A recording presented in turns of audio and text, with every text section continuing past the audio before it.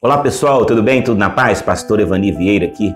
Como receber forças espirituais para servir a Deus? Tem hora que a gente desanima, não é verdade? Não consegue mais jejuar, não consegue orar, ir à igreja, para de sentir a presença de Deus. Por que, que isso acontece? Hoje eu vou falar sobre três coisas que a gente deve vigiar, porque senão a gente perde a força espiritual. Está no ar o programa Dica Rápida.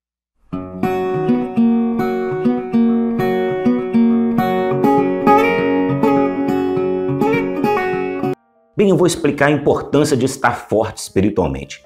Quando você está forte espiritualmente, você consegue orar com facilidade, você consegue jejuar, você fica animado mesmo em meio às tribulações. Você já passou por lutas, tribulações no casamento, tribulação financeira, perseguição de pessoas, hein? opressão diabólica e você reagiu bem? Se levantou, ergueu a sua mão, pediu ajuda, orou, repreendeu e conseguiu vencer? Porque você estava forte espiritualmente. Mas quem está fraco espiritualmente não consegue vencer dificuldade nenhuma. Quem está bem espiritualmente sempre está com paz no coração, ânimo, porque ele crê que Deus vai reverter todas as coisas. Vamos em Efésios capítulo 6, versículos 10 e 11? No demais, irmãos meus, fortalecei-vos no Senhor e na força do seu poder. Revesti-vos de toda a armadura de Deus, para que possais estar firme contra as astutas ciladas do diabo.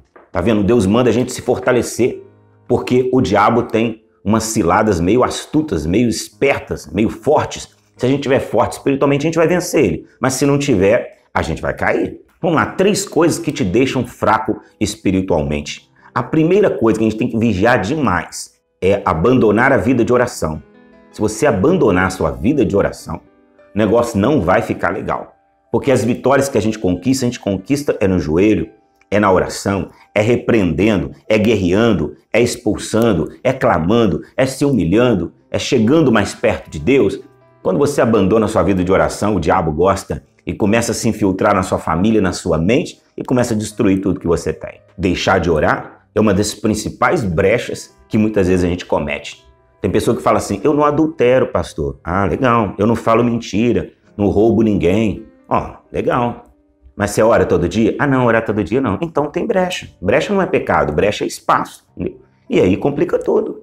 Veja o que acontece quando você deixa de orar. Você pode entrar em depressão, você pode desviar dos caminhos do Senhor, sua vida financeira pode ficar travada e sua família pode perecer. Porque se você não tem ninguém para orar para sua família, já era. O inimigo vai prevalecer. Vamos ver um texto no Salmo 145, versículo 18? Perto está o Senhor de todos os que o invocam, de todos os que o invocam em verdade. Tá vendo? Perto está o Senhor de todo mundo? Não. Só daqueles que o invocam. Então, se nós o invocarmos, ele estará perto de nós. Mas se a gente parar de invocar o Senhor, de clamar a Ele, nós não vamos sentir Deus conosco mais e a nossa vida não vai para frente. Segunda coisa que a gente tem que vigiar, que muitos cometem, é parar de louvar a Deus. Há pessoas que quando vão cozinhar, vão trabalhar, é, na hora de dormir, coloca louvor, adora Deus. Mas tem gente que parou com, essa, com, esse, com esse hábito. Ouvia louvor todo dia, era, era, era visitado pela presença de Deus, era fortalecido, Deus falava com ele através do louvor. Mas de um tempo para cá ele parou, ele não louva mais. Agora ele ouve até músicas do mundo, mas louvor não ouve mais é uma brecha muito grande e a pessoa se enfraquece espiritualmente. Vamos meditar no Salmo 22, versículo 3. Contudo, tu és o santo entronizado entre os louvores de Israel. Tá vendo? O Senhor é entronizado entre os louvores de Israel. Quando nós louvamos a Ele, Ele é entronizado no louvor, então a gente sente a presença dele. Agora, ao invés de louvar, a pessoa murmura, reclama o dia inteiro, aí como é que vai progredir espiritualmente? Como é que vai ficar forte para vencer o mal?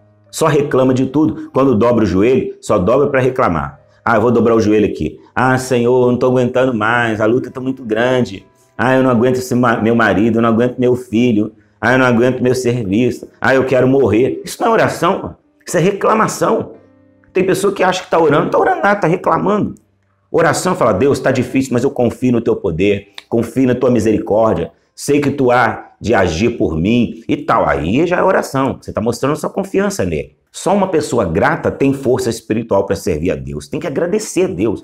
Deus, muito obrigado pelas lutas. Elas estão me ensinando a chegar mais perto do Senhor, me ensinando a ser mais forte. Eu não entendo as lutas, mas se o Senhor está permitindo, o Senhor sabe de todas as coisas. Obrigado pelo meu filho, obrigado pelo marido, pela esposa, obrigado pela igreja. Começa a agradecer para você ver como você vai ficar cheio da presença de Deus. Terceira coisa que a gente deve vigiar demais: andar com más amizades. Ah, você pode ser a pessoa mais bem intencionada do mundo. Se você começar a andar com quem não presta, você não consegue ficar bem espiritualmente. Quer ver um texto? 1 Coríntios 5, 11.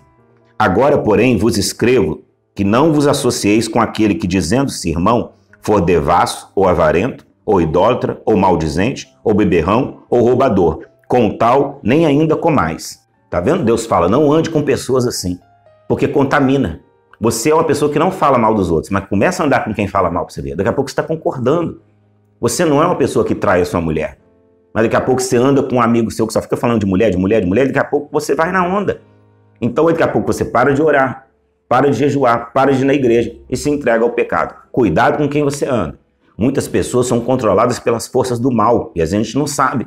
Acha que a pessoa é pessoa gente boa. Gente boa, mas está sendo controlado pelo inimigo. Se você quer vencer o combate espiritual contra os inimigos, você precisa andar com pessoas sábias, com pessoas santas, com pessoas espirituais. É vigiando com essas três coisas que você vai renovando a sua, a sua vida espiritual. Daqui a quando vê, você já está sendo muito usado pelo poder de Deus. É vigiando com essas três coisas que você vai renovando as forças espirituais. Quando vê, você já está uma potência na mão de Deus, sendo muito usado por Ele. São ensinamentos espirituais que te ajudam a vencer a batalha espiritual. Se você não tiver ensinamentos, fizer tudo errado, não adianta você ser bem intencionado. A guerra espiritual é complexa. Se a gente não fizer tudo certinho, não dá certo. Agora eu quero fazer uma oração para fortalecimento espiritual da sua vida, tá bom? Vamos orar junto com o pastor Ivan Oliveira para você ficar forte agora na presença de Deus? Vamos orar. Meu Deus querido, abençoa, Senhor, o nosso irmão, a nossa irmã que está ligado nesse vídeo, Senhor. Na presença do Senhor, eu profetizo força, eu profetizo graça, eu profetizo, Senhor, meu Deus, o fogo do teu espírito sobre ele. Ajuda ele ou ela a vigiarem, Senhor, contra o mal, vigiar com as más amizades, tudo que a gente falou nesse vídeo que o teu espírito me inspirou. Vai quebrando as forças do mal, quebrando a obra de macumbaria, de feitiço. Vai quebrando, Senhor, tudo que não provém do teu espírito e está oprimindo essa pessoa. E não deixa ela ir à igreja, não deixa ela mais jejuar, não deixa ela orar. Só chora o dia inteiro. Só, Senhor, se entristece Há uma entidade forçando essa pessoa a se suicidar, mas eu repreendo agora todo o mal. Eu jogo por terra agora no poderoso nome de Jesus toda a força diabólica que está contra esta pessoa agora. Sob o nome de Jesus. Meu Deus, dá vitória. Enche da tua presença eu profetizo que essa pessoa que está nesse vídeo agora, Senhor, vai ser muito usado pelo teu Espírito, vai ser feliz no casamento, vai conseguir prosperar, vai ser batizado com o Espírito Santo e vai ser uma potência nas tuas mãos para a glória de Deus. Amém. Aleluia. Louvado seja o nome do Senhor. Se você gostou desse vídeo e essa oração, esse ensinamento te ajudou, você compartilhe com seus amigos e não se esqueça de se inscrever no nosso canal, tá bom? E aqui no nosso canal tem centenas ou milhares de vídeos à sua disposição. Deus abençoe. Até a próxima, se Deus quiser.